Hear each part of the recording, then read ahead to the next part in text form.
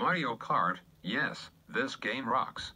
The Mario Kart franchise is about Mario and his friends slash enemies racing each other. I love to play each version of the game from Super Mario Kart to Mario Kart Tour. The only game I hate is Mario Kart 64, which had crappy controls and looked very ugly.